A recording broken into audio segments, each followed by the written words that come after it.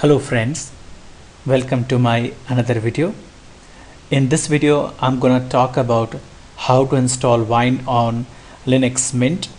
Wine is a compatible layer with the help of which you can run Windows application on Linux operating system.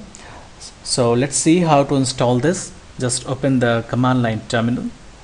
So, so an old version of Wine is available in the software channel but but for this video I will be installing the latest version of Wine that is Wine 1.7 via PPA so add Wine PPA to repository. Give this command sudo add apt repository the Wine PPA Ubuntu Wine forward slash ppa hit enter and give your password.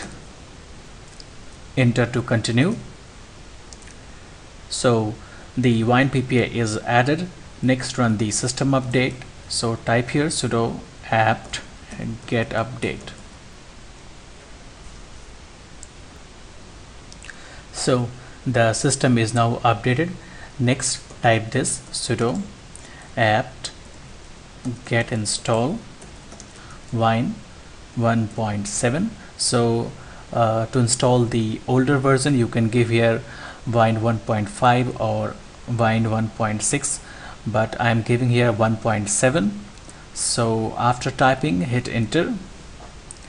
Press Y enter again to continue. The wine is successfully installed in my system so I'm going to close this terminal. And next I'm going to click on menu. And here you can see uh, a new wine category is created. And just like uh, like Windows you can see here C drive. So next uh, click on configure wine. Let me show you about.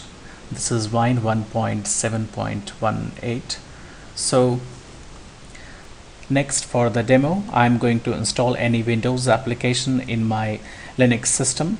So I have chosen notepad++ to install.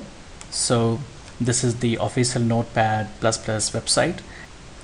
So I'm going to download the notepad++ installer Windows executable file.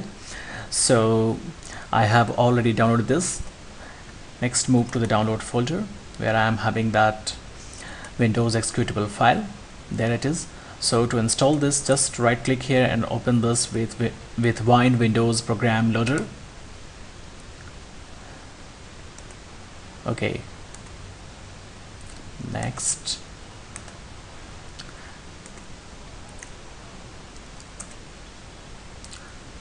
So I'm gonna create shortcut on my desktop